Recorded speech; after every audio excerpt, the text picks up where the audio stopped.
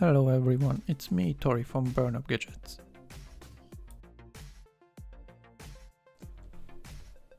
Today we are going to disassemble this Asus X540L laptop. Well, actually this disassemble also applies to all of the X540 models. So I'm going to show you how to properly do it.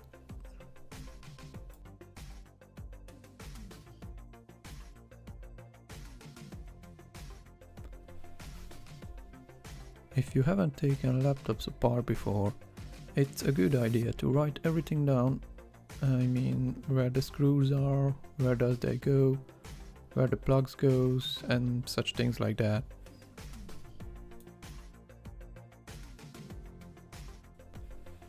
For this job, you only need a Phillips head screwdriver and a small plastic tool such as a guitar pick or a credit card that will help you to open the cover.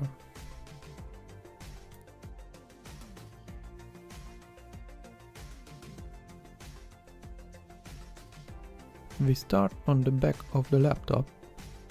There are 10 screws to deal with.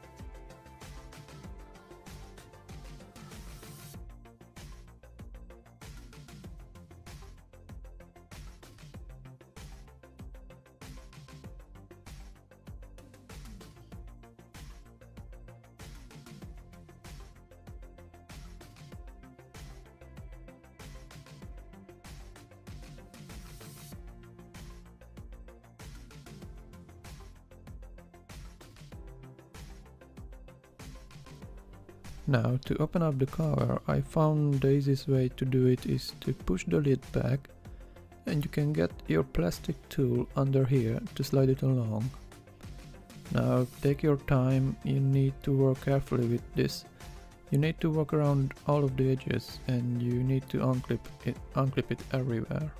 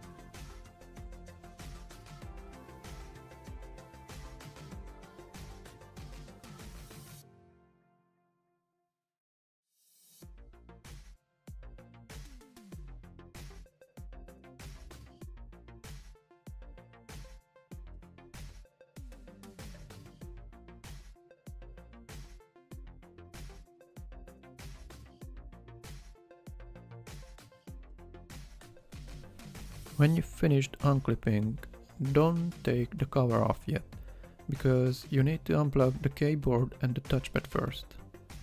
These clips are very fragile, so be very careful. Here is the way they hold the ribbon cables.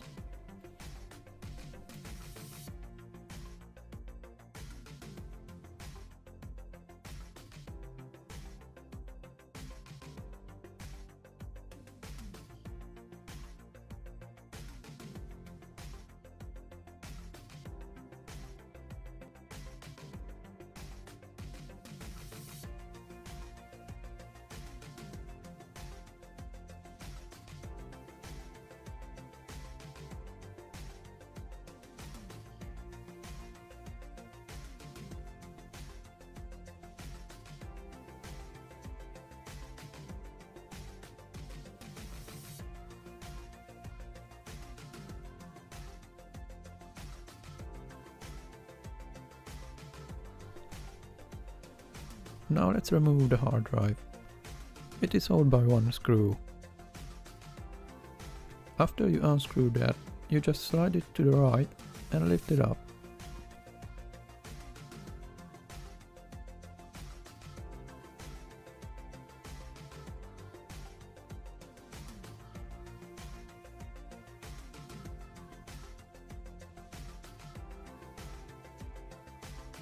The DVD drive is also held by one screw.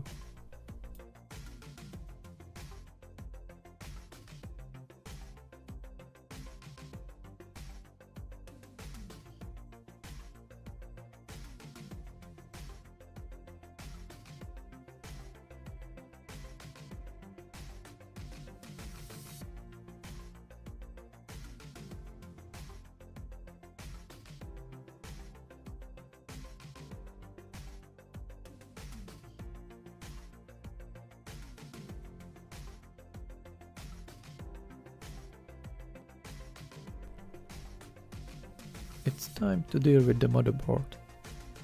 First we can unplug the cooling fan and the speaker.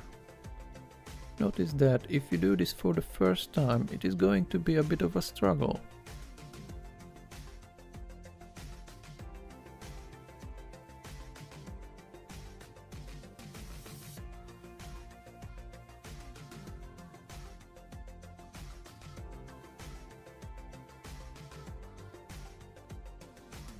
On the motherboard, there are 8 screws to deal with.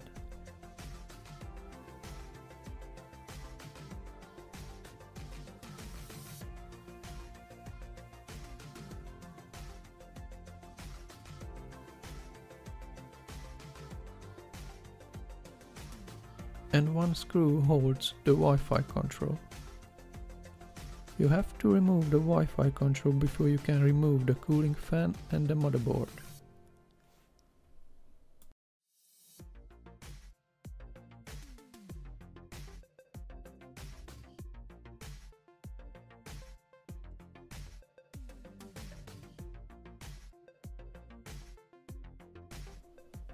Normally I would say that remove the battery before you start disassembling, but in this case the battery is built in, so we can't do that. Try to be very gentle with the PCB. Hold it by the edges. Don't actually touch the circuit board. And of course, remove the SD card as well.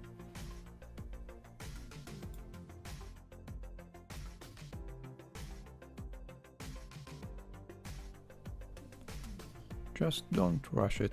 Give it some wiggle and try to be patient. These PCBs are very fragile.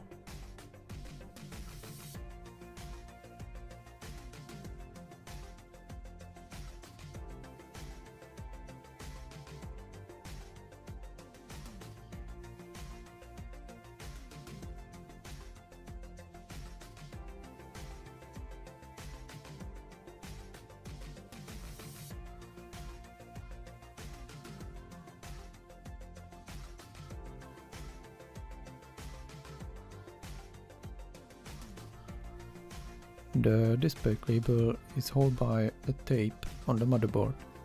It's a bit tricky to remove it, but I think you can manage it.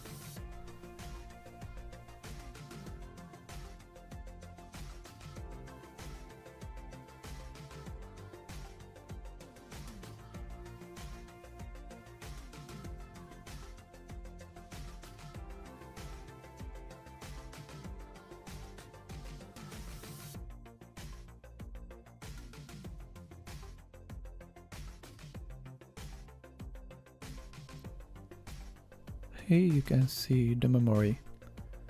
If you want, you can upgrade it because it's actually removable.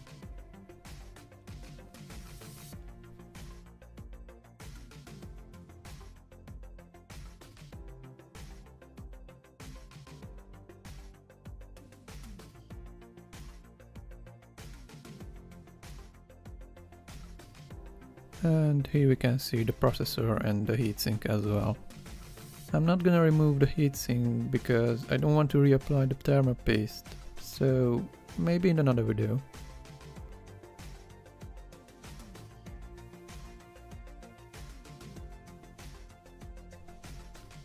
Anyway, just follow the steps to put it all back together.